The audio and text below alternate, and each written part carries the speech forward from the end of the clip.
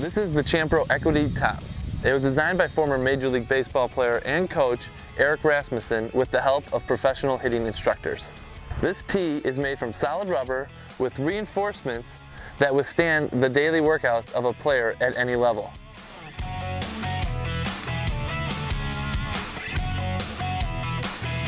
What makes this batting tee unique is the specially engineered top. The angle of the top forces the hitter to swing downward and through the baseball.